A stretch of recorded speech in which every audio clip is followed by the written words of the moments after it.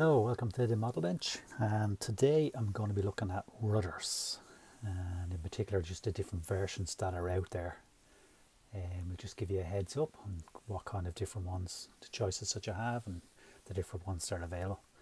So this is the trumpeter rudder and um, it's a little bit too thick, the shape is a little bit off, um, otherwise it's, it's not a bad choice. You know, if you're going with the kit one, that's what you're going to get.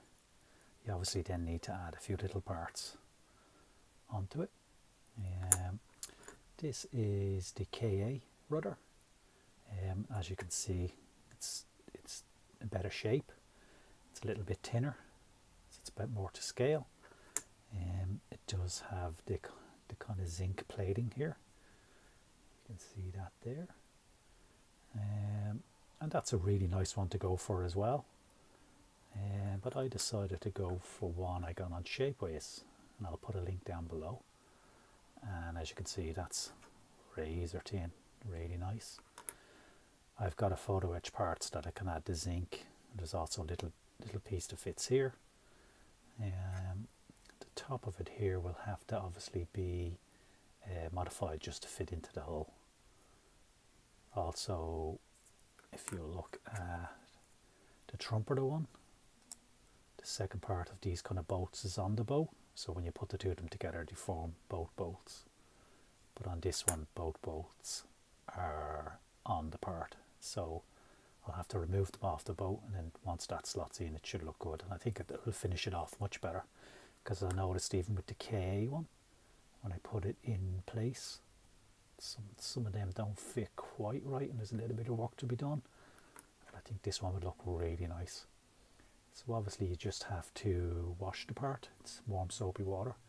And I'm going to give it a light priming just to bring out the detail. And then I'll get the painting and adding the parts. So I'll be adding the zinc here. Then there's a little kind of piece here. And um, that's what I'm going to do next. So there are your choices.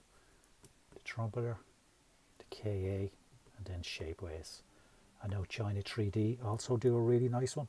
Um, I didn't buy that one. I went I went with this one because I was ordering some other parts. Okay, so we'll get on to the next step. So these are the parts I'm going to be using on the rudder. Um, I ordered these on minibrass.com. Again, I'll put a link down below. And as you can see, these are the little zinc plating that just go along here.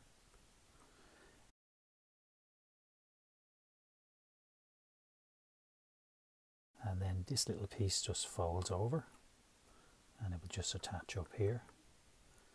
And these other parts are for the stern so I have that little piece added there. Um, I'm now going to add the little um, zinc ones here. So there's one going to go here here and here. So I have this little pin with a little bit of Blu Tack on it what I'll do is just flip that over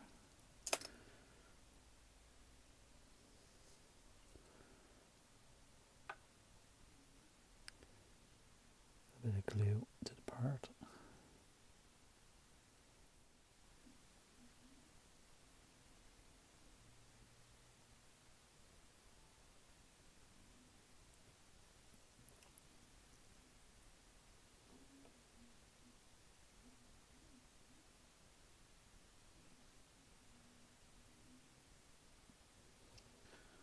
Okay, that's one.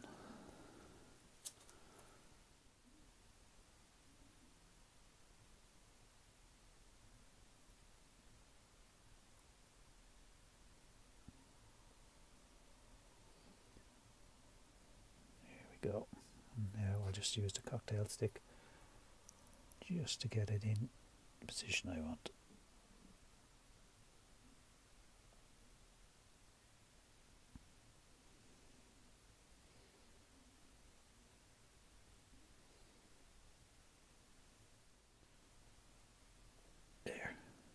Brilliant. Let's get my cocktail stick and just maneuver it into place.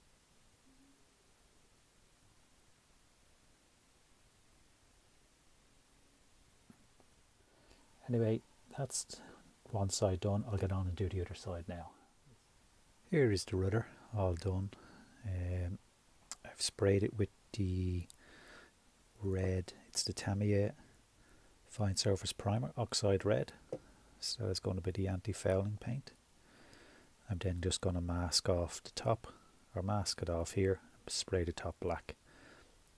Um, you can see all those little details come out really nicely. Um, I also cut the top to size, drilled a little hole and just added a little rod, a little bit of plastic uh, rod. That will focus. Here we go. So that's red. That'll be ready then to install on the ship. So I'm going to mask it off now and spray the top black. then I'll also paint these the zinc plating here. Here is my rudder all done and as you can see I've just painted in the little kind of zinc plating there and sprayed up above here the flat black and with the proper anti-fouling line. And fairly pleased how this turned out. All sorted. The little added bits here.